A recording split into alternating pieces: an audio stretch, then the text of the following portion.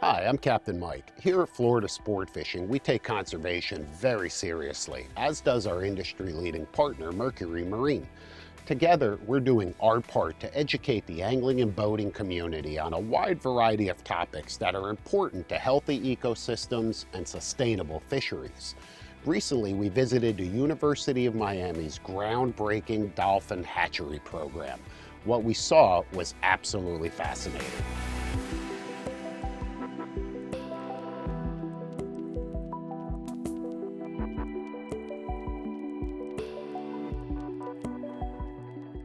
I'm here at the University of Miami, the aquaculture facility at the Rosenstiel School. I'm with Ron and John, and I'll tell you what, just an absolutely fascinating operation here.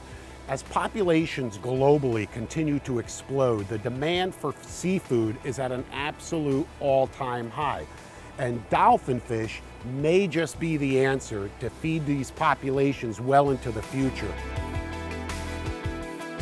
We're at the University of Miami's experimental hatchery where we work on a number of different marine finfish species, all saltwater, looking at different aspects, different research topics, specifically on commercial aquaculture. You know, producing fish for human consumption. Now you guys have mastered cobia. You're yes. experimenting with some other species as well, yep. including hogfish, potentially flounder and grouper also. Red snapper, yep. Red snapper. We've worked with Florida pompano in the past. Even Another excellent example, but dolphin fish has so much potential. Yeah, they're the, probably the fastest growing fish in the ocean. Huge market recognition.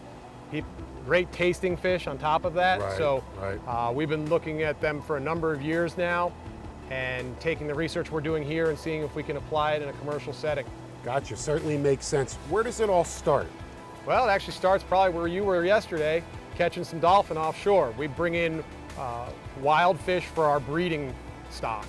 So we'll go out on a charter boat, go collect these fish hook and line in the wild, bring them right to our facility, put them in one of the large tanks you see right here. From there, we make sure they're well fed and in a stress-free environment, and they'll start spawning for us just in a matter of a few days, where and each female will release eggs every other day for us under ideal conditions, up to a couple hundred thousand eggs in a single spawning event. Per female? Per female.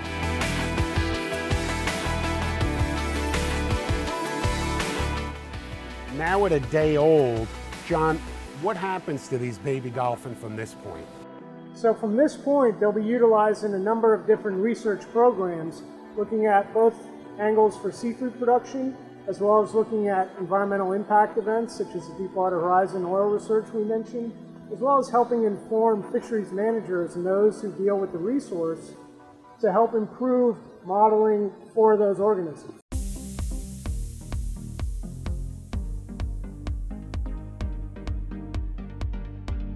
Pretty ambitious plan for the morning. Yep. Our goal is to head offshore and tag some dolphin.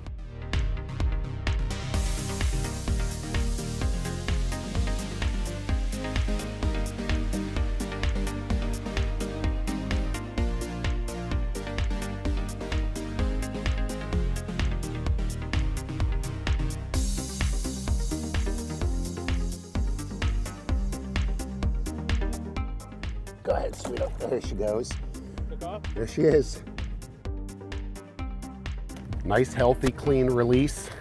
Gonna run up and fill out the card real quick, grab these GPS coordinates, and then we'll tag a few more. That's fun. Yeah. It really is, you know, it's fun. Feels like It's- you're contributing. it to is. the You, cause. you know, we talked about this a lot. You know, is tagging dolphin going to help you catch more dolphin today?